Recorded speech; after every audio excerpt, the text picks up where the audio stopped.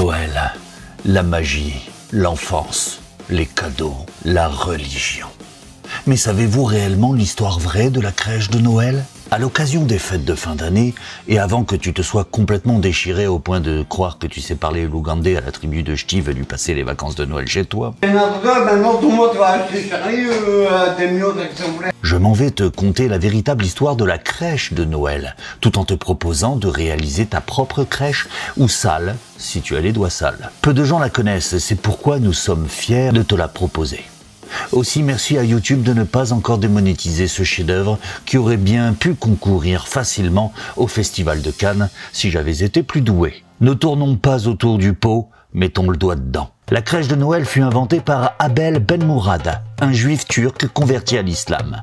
Oui, tu n'es pas sourd. C'est bien un musulman qui inventa la crèche de Noël et d'ailleurs la Bible. Mais bon, ça c'est une autre histoire. À cette époque reculée, le catholicisme n'existait pas encore puisqu'il ne vit le jour que le 2 octobre 1520. En même temps que la célèbre bière flamande d'ailleurs, la 1520.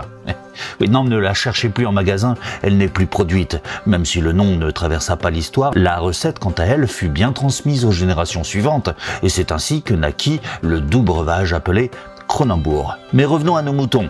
Puisque c'est bien dans une petite étable du côté de la ville de Kiryat Arba, située à peu près du côté de Sarcelles d'aujourd'hui, que naquit le petit Jésus. Redonnons-lui tout de suite la gloire de son nom, puisque tu te doutes bien que même lui n'échappa pas à la manipulation historique. Jésus s'appelait en réalité José.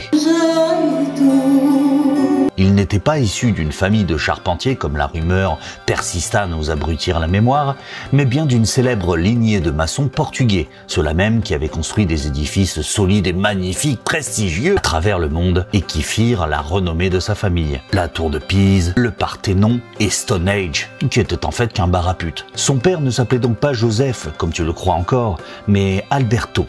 Ça, les écrits sont plus ou moins troubles à ce sujet. Certains prétendent qu'il s'appelait en réalité aussi José. Sa mère, Maria José, que l'on a francisé quelque peu sous le nom de Marie, lui donnait beaucoup d'amour. Ça n'a aucune importance dans l'histoire, mais ça permet d'introduire Maria José dans ce fabuleux conte de Noël. Ah les tables des José. Comme ils s'appelaient tous plus ou moins José, c'est comme ça qu'on appelait les tables de la nativité au commencement. Ah, les tables des José. Quel lieu bourré de mémoire, d'amour et parfois de gay. Oui, c'est aussi ici qu'a eu lieu en 1720 la première Gay Pride. Ah, ah oui, ils savaient s'amuser, nos ancêtres. Hein. C'est une à une qu'Alberto fabriqua les petites briques qui allaient servir d'abri à la famille. Une à une aussi qu'il monta les pierres pour retenir le vent d'ouest qui s'écrasait très souvent sur la fragile bâtisse. Mais tu te doutes bien, il ne put construire seul les tables. Aussi il demanda du renfort à ses tout proches voisins, les frères Waïd, Rachid et Abdel. Et puis comme cela ne suffisait toujours pas, il appela Jean et Sébastien, deux intérimaires. Rachid et Abdel étaient les deux chefs d'équipe de ce chantier pharaonique,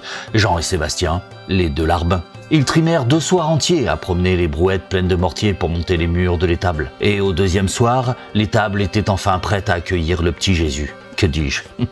Le petit José.